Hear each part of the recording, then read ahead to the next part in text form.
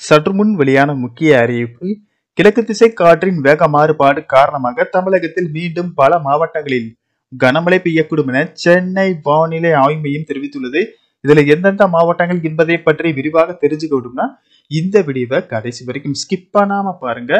இது போன்ற மலை சம்பந்தமான வீடியோக்களை உடனுக்குடன் தெரிஞ்சுக்கணும்னா வீடியோக்கு கீழே இருக்கக்கூடிய ரெட் கலர் சப்ஸ்கிரைப் பட்டனை பிரஸ் பண்ணிக்கோங்க. சற்று முன் சென்னை வானிலை ஆய்வு மையம் வெளியிட்டுள்ள அறிவிப்பில் கிழக்கு திசை காற்றின் வேக மாறுபாடு காரணமாக இன்று திருவள்ளூர் கடலூர் மயிலாடுதுறை தஞ்சாவூர் திருவாரூர் நாகப்பட்டினம் புதுக்கோட்டை ராமநாதபுரம் தூத்துக்குடி நெல்லை ஆகிய பத்து மாவட்டங்களில் இன்று கனமழைக்கு வாய்ப்புள்ளதாக சென்னை வானிலை ஆய்வு மையம் தெரிவித்துள்ளது. மேலும் இன்று அடுத்த மூன்று மணி நேரத்தில் சென்னை திருவள்ளூர் செங்கல்பட்டு காஞ்சிபுரம் திருவண்ணாமலை ராணிப்பேட்டை கள்ளக்குறிச்சி மயிலாடுதுறை அரியலூர் பெரம்பலூர் வேலூர் திருப்பத்தூர் ராமநாதபுரம் தூத்துக்குடி ஆகிய மாவட்டங்களில் இடி மின்னலுடன் கூடிய கனமழைக்கு வாய்ப்புள்ளதாக தெரிவிக்கப்பட்டுள்ளது.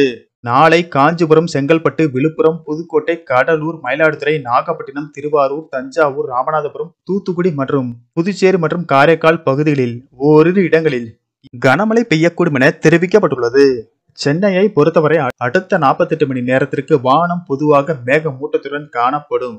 நகரின் ஒரு சில பகுதிகளில் இடி மின்னலுடன் கூடிய லேசானது முதல் மிதமான மழை பெய்யக்கூடும். மேலும் இன்றும் நாளையும் தென்மேற்கு வங்கக்கடல் பகுதிகள் தெற்கு அந்தமான் கடல் பகுதிகளில் சூறாவளி காற்று மணிக்கு நாற்பது முதல் ஐம்பத்தைந்து கிலோமீட்டர் வேகத்தில் வீசக்கூடும் என்பதால் மீனவர்கள் அந்த பகுதிகளுக்கு செல்ல வேண்டாம் என எச்சரிக்கை விடுக்கப்பட்டுள்ளது.